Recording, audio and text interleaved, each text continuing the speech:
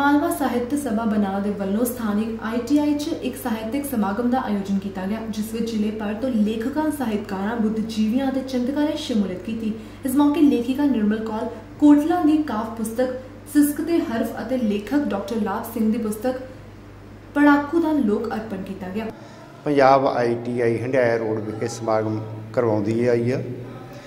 ਅੱਜ ਦੋ ਪੁਸਤਕਾਂ ਰਿਲੀਜ਼ ਕੀਤੀਆਂ ਗਈਆਂ ਨੇ। ਜਿਹੜੇ ਨਵੇਂ ਲੇਖਕ ਨੇ ਪੁਗਰ ਦੀਆਂ ਕਲਮਾਂ ਨੇ, ਉਹਨਾਂ ਨੂੰ ਉਤਸ਼ਾਹਿਤ ਕਰਨਾ ਹੈ ਤੇ ਇਹ ਸਭਾ ਇਸ ਮਤਲਬ ਆਪਦੇ ਉਦੇਸ਼ ਦੇ ਵਿੱਚ ਦਿਨੋ ਦਿਨ ਸਫਲ ਹੈ, ਦਿਨੋ ਦਿਨ ਇਸ ਦੇ ਕਦਮ ਵਧ ਰਹੇ ਨੇ। ਇਹਨਾਂ ਪੁਸਤਕਾਂ ਦੇ ਜਿਹੜੇ ਸਬਜੈਕਟ ਨੇ, ਨਿਰਮਲ ਕੌਰ ਨੇ ਬਾਖੂਬੀ ਜੋ ਯਥਾਰਥ ਸਾਡੇ ਅੱਜ ਦੇ ਸਮਾਜ ਵਿੱਚ ਬੀਤ ਰਿਹਾ ਹੈ, ਉਹਨੂੰ ਪੇਸ਼ ਕੀਤਾ ਹੈ। ਇਹ ਪੜਨ ਲੈ ਕੇ ਤੁਰੇ ਹਾਂ ਕਿ ਜਦੋਂ ਕੋਈ ਲੇਖਕ ਦੀ ਪੁਸਤਕ ਨੂੰ ਅਸੀਂ ਲੋਕ ਅਰਪਣ ਕਰਦੇ ਹਾਂ। ਉਹਦੇ ਸਿਰ ਤੇ ਦਸੇ ਹੀ ਉਂਗਲਾਂ ਰੱਖਣੀਆਂ ਨੇ।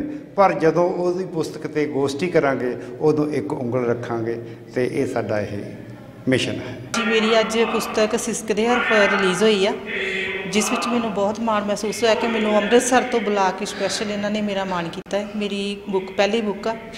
ਇਹਦੇ ਵਿੱਚ ਮੈਂ ਹਰ ਵਿਸ਼ੇ ਨੂੰ ਛੂਇਆ ਹੈ ਤੇ ਮੈਂ ਅੱਗੇ ਤੋਂ ਕੋਸ਼ਿਸ਼ ਕਰਾਂਗੀ ਪੰਜਾਬੀ ਮਾਂ ਬੋਲੀ ਲਈ ਮੈਂ ਹੋਰ ਕੋਸ਼ਿਸ਼ ਕਰਾਂਗੀ ਦੀ ਸੇਵਾ ਲਈ।